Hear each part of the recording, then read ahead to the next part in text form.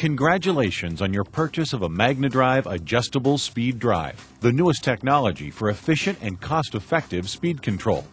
This video demonstrates key steps in the installation of the MagnaDrive ASD and should be used in conjunction with the detailed instructions contained in your ASD installation manual.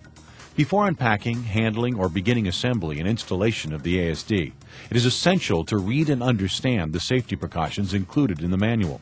Also, refer to your installation manual for a complete list of pre-installation work requirements and the tools and equipment necessary to complete your installation. The instructions and demonstrations in this video have been used successfully across a variety of applications. While variations are possible in the installation process to meet specific conditions at each site, certain operations should be performed exactly according to the instructions to ensure safe and efficient operation. Please contact MagnaDrive with questions about or problems with any portion of the installation process. This video is divided into six segments to help facilitate the installation of a MagnaDrive ASD. Unpacking, base side and shaft preparation, preparing the ASD for installation, installing components onto load shaft, installing the components onto the motor side, and motor placement and ASD alignment.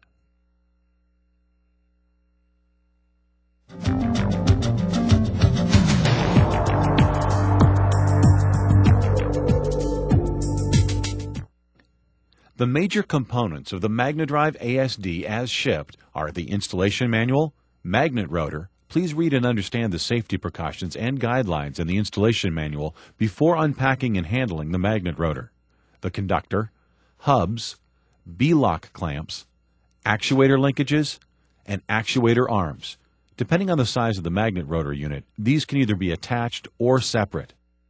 The actuator will be shipped directly from the manufacturer, separate from the ASD, and may vary from this example.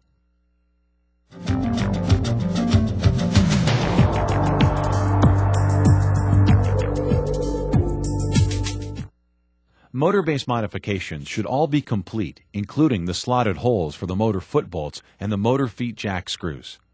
Install the motor and load shaft half keys and file and sand the shafts as required to provide a smooth, clean fit for the ASD hubs. Make sure the shafts are free of any oil, grease, or anti-seize. This is to ensure proper torque transmission between the shaft and the hub. Measure motor and load shaft runout and end play. Test fit of the hubs should be done at this time.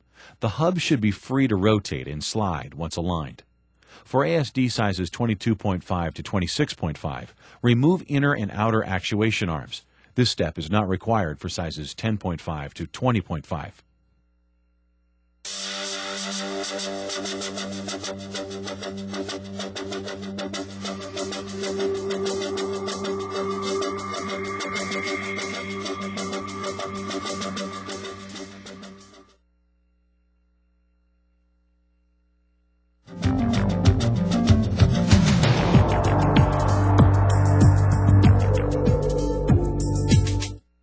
Be sure to install the hub connection bolts before placing the install shrink disc onto the hub. Shrink disc screws should be loose to allow the compression ring of the shrink disc to slide on the hub. Install the hub onto the shaft until the shaft end is flush with the end of the hub. If there's interference, verify clearance of the half key. Do not force this assembly. Hone the hub inner diameter to loosen the fit if necessary. Tighten the shrink disc clamp bolts until the hub cannot be hand rotated independent of the shaft. Place the dial indicator on the hub and measure and adjust the radial and face runout, ensuring the total indicated runout of each face is less than one thousandth. If total indicated runout exceeds specifications, locate high point of runout at 12 o'clock and apply a blow with a soft-sided mallet on the edge of the hub to correct the runout. Final torque the shrink disc bolts in a circular pattern. Record shrink disc screw torque and total indicated runout on your installation checklist. Verify the runout measurements to ensure that the hub stayed in position and corrected if necessary. Place the hub and B-lock clamp on the motor shaft and inspect and clean the mating surfaces. Using a permanent marker, match mark the conductor prior to disassembly. Remove the motor side conductor. Place the load side conductor with air gap spacers on a non-magnetic surface.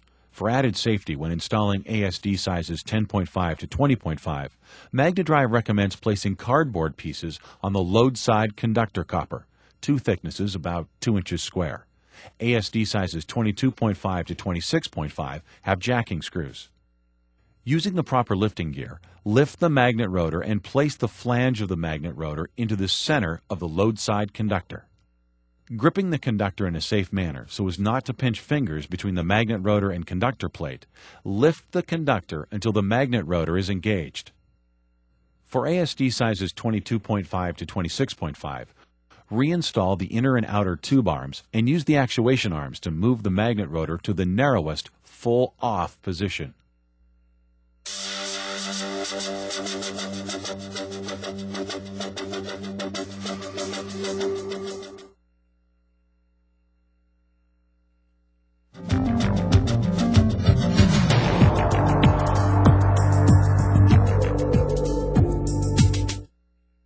Using the proper lifting gear, place the magnet rotor flange onto the load shaft hub flange. Using thread locking compound on the bolts, torque the hub bolts to the specified torque using a crisscross tightening pattern. It is essential to place the dial indicator on the end of the center shaft to measure total indicated runout. While rotating the magnet rotor, identify the highest total indicated runout reading. Using a soft face mallet, tap on the top of the magnet rotor to adjust the shaft end runout to less than 2 thousandths of an inch total indicated runout for 1800 RPM applications, and less than 1 thousandth of an inch total indicated runout for 3600 RPM applications. The closer this reading is to zero, the less potential vibration there will be due to runout.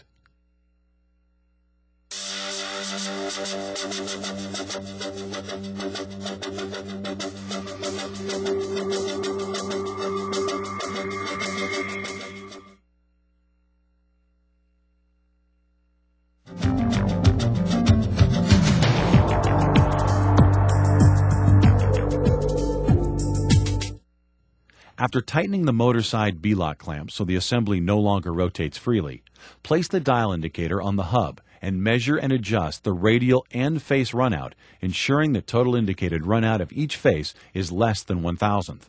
Once again, this step is crucial.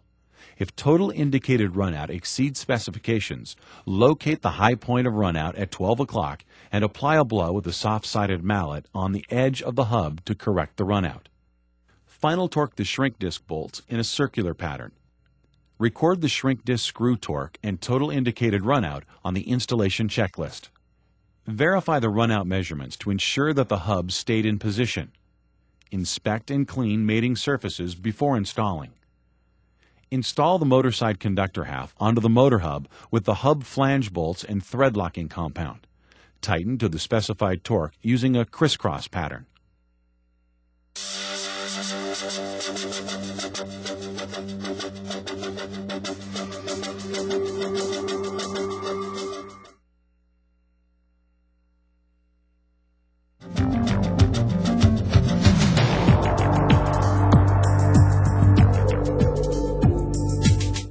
Using the proper lifting gear, bring the motor into a position away from the magnet rotor, yet close enough to install the motor feet bolts.